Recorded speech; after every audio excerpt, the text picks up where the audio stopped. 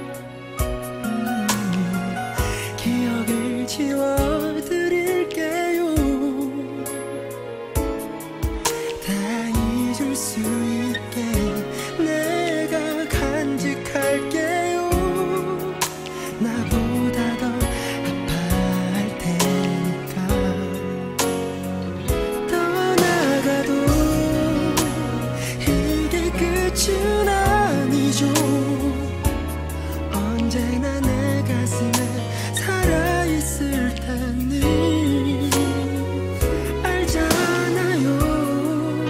그